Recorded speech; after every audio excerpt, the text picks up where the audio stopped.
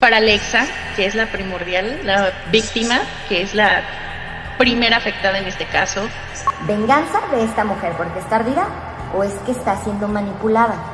Se cuenten muchas mentiras, que salgan a decir tanta falsedad de cosas. Sale a la luz otra involucrada en el caso de Héctor Parra. ¿Se está mm, revelando la verdad? Después de eso, ella dejó de tener comunicación con mi papá. Pues yo decido hablar por, por justicia, simplemente es justicia para Alexa. Qué despiadada crueldad por parte de esta mujer. ¿Acaso actúa por dolor o está siendo manipulada? Otro nombre emerge en el caso de Héctor Parra, revelando la verdad detrás de esta situación. ¿Qué opinan, amigos? Prepárense para una charla reveladora. Ahora se está desvelando la verdad sobre esta mujer, su historia sale a la luz. Hemos discutido el caso de Héctor Parra, pero recientemente han surgido nuevas revelaciones sobre los involucrados. Siempre se creyó que Jenny Hoffman era la única responsable, pero sorpresa. Hay más personas involucradas en este asunto. Una mujer, conocida por ser deshonesta, mentirosa y resentida, ha salido a escena. Nos referimos a Paulina Garriga. ¿Qué conexión tiene ella con Héctor Parra? En algún momento alrededor del año 2021, Paulina Garriga decidió compartir su versión de los hechos. Resulta que esta mujer es la exnovia de Héctor Parra. Tras la ruptura, quedó profundamente enamorada y comenzó a hostigarlo, lo cual lo tenía completamente agotado. Cuando se menciona el caso de Héctor Parra y la denuncia presentada por la señora Hoffman para exponer todo sobre Alexa, esta mujer se presenta como testigo en aparente contra de Héctor Parra. ¿Qué opinan? Calculemos, fue alrededor del 2021. Al escuchar su testimonio, muchas personas que conocían la relación entre Héctor Parra y esta mujer comenzaron a cuestionar su veracidad. Se rumoreaba que ella estaba desequilibrada y resentida porque no quería que Héctor terminara la relación. ¿Fue esta mujer actuando por cuenta propia o fue manipulada? Parece que no estaba asociada con Jenny Hoffman, sino con el esposo de esta, Alberto Ocampo. Él podría haber estado detrás de todo, ya que tenía interés en obtener dinero para una fundación destinada a las niñas hostigarla, utilizando la imagen de Alexa, pero sus planes fracasaron.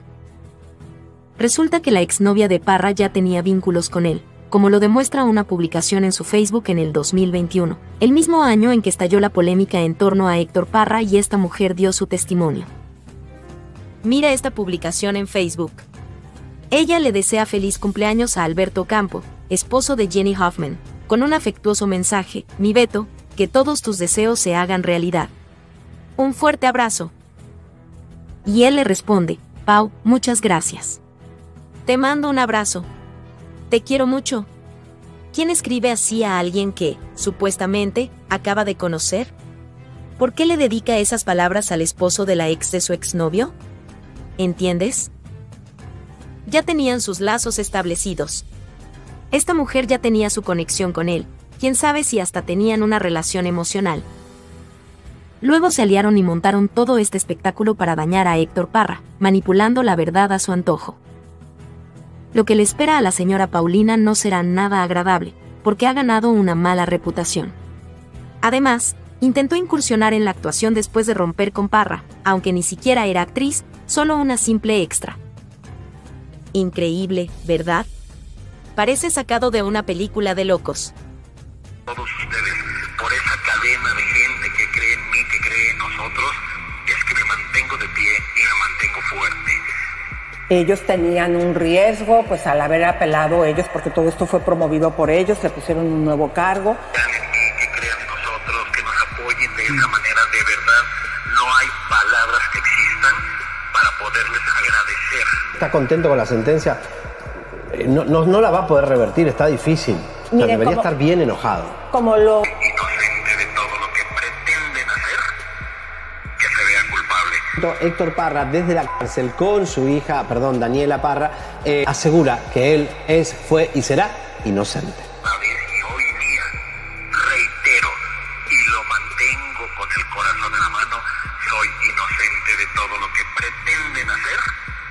Héctor Parra se expresó por primera vez desde el reclusorio, con el corazón en la mano reitero, soy inocente.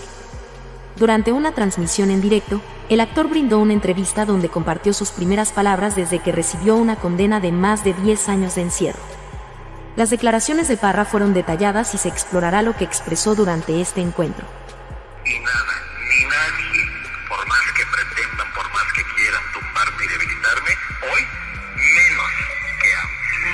Héctor Parra, quien actualmente cumple reclusión en el Centro de Readaptación Social Oriente de la Ciudad de México, bajo acusaciones de hostigamiento lascivo y conducta inapropiada hacia menores. Emitió sus primeras palabras desde su lugar de reclusión. Eso quería, eso quería que les dijeras, pero para toda la gente que está preguntando cómo está mi papá, quería que ustedes mismos lo escucharan. En su declaración, expresó su gratitud hacia todas las muestras de apoyo recibidas por parte del público, así como hacia su hija, Daniela Parra. Después de que se emitió la sentencia, Daniela Parra, la hija mayor del actor, organizó una transmisión en vivo a través de su cuenta de Instagram para conectar a su padre con el público. Desde el Centro de Readaptación Social Oriente de la Ciudad de México, Héctor Parra realizó una llamada durante la transmisión en vivo para expresar su gratitud a todos los seguidores que estaban sintonizando en ese momento, agradeciéndoles por creer en su inocencia.